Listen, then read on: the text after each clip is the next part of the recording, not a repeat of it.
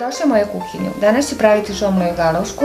Ovaj recept potiče iz Mađarske, a za piškotu su mi potrebna jaja, kakao, prašak za pecivo, šećer, brašno i vanilin šećer i treba će mi tri vrste preliva, a za preliv od ruma mi treba rum, voda, šećer, korica, naranđe.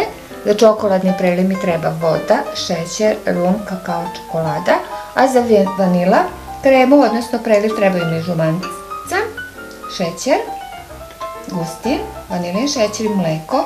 Za posipanje mi trebaju mledani orasi i suvo grožđe koje sam natopila sa malo ruma, a od gore ću staviti umućenu slatku pavlaku. Sada ću prvo praviti piškotu, odnosno razdvojit ću belanca od žumanca.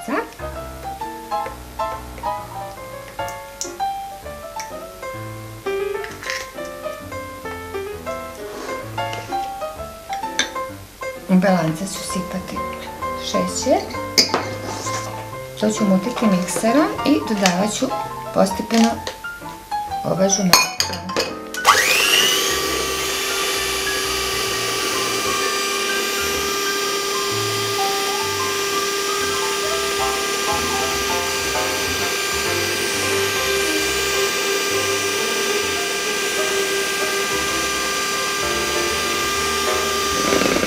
Dodat ću i vanilin šećer.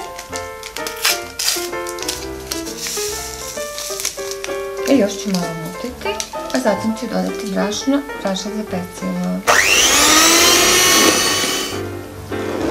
Pomešat ću brašno i prašak za pecivo.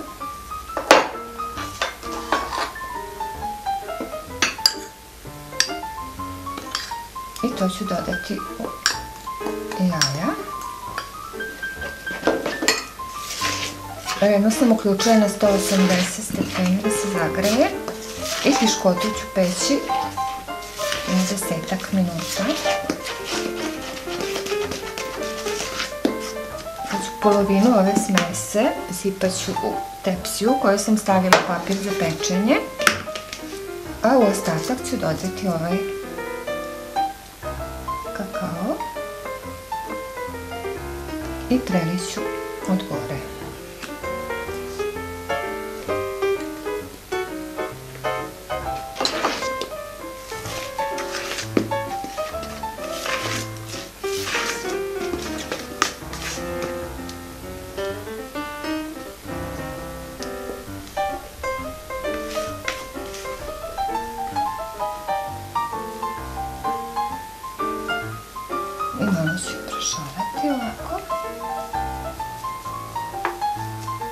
Se piškota bude pekla, to vreme ću pripremiti prilive.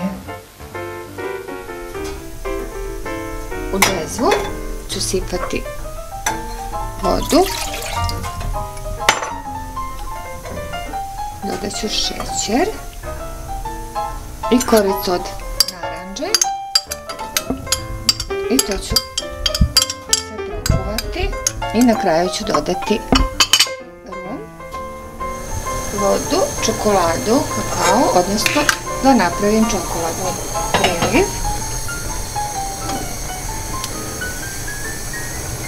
Sipat ću vodu, stavit ću čokoladu,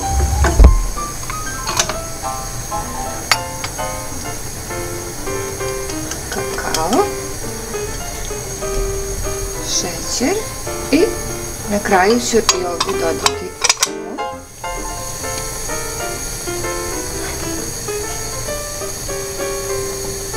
U trećoj šerpi ću da skuvam vanila preliv, vanila kremu.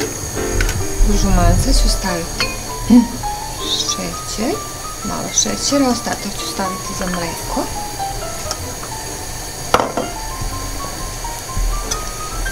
dodat ću gustin i vanilin šećer. Sipat ću malo mleka da bi razmutila.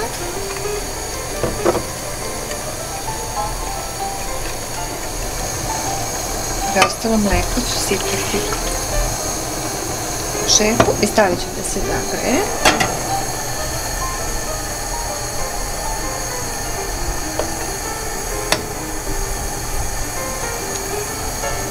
Ovo ću još malo mešati da nestanu grudvice.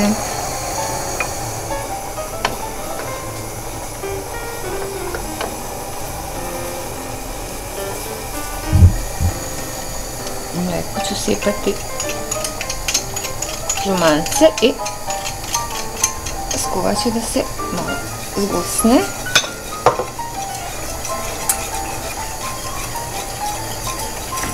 Evo i ovaj preliv je gotov. I po strane se malo ohladi.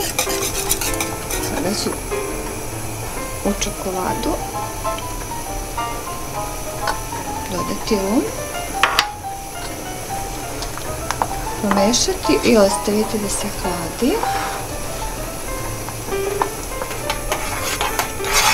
Ovo ću još malo kuvati da sirup bude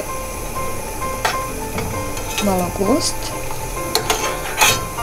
I ovaj preliv je gotov. Samo još da sipam rum. Njega ću ostaviti da se hladi i se piškota ispeče. Malo ću je ostaviti da se hladi i onda ću prelivati sa ova tri preliva. Evo piškota se ispekla i uhladila i sada ću je iseći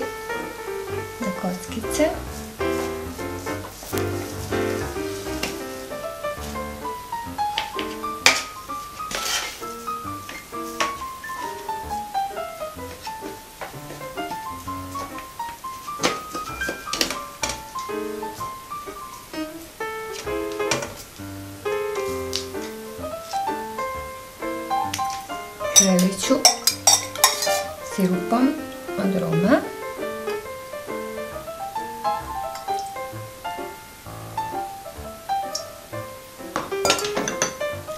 Stavit ću suvo grožđe koje sam utopila u rumu.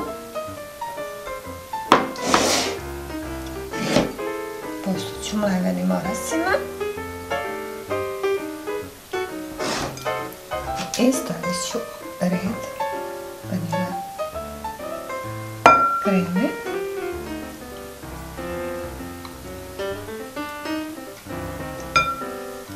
I složit ću ostatak piškote i njih ću preliti.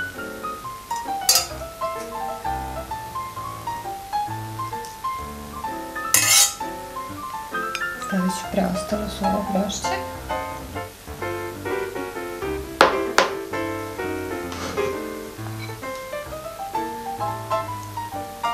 Kremu. Posut ću mlevenim orasima. I na kraju čokoladnim prelivom. Ostavit ću frižider da se hladi. Kada se ohladi, mutit ću slatku pavlaku i može da se služe. Ovaj recept kao i ostale moje recepti možete pronaći na internet adresi www.bebinakuhinja.com i na Facebook stranici Bebina kuhinja. Prijetno!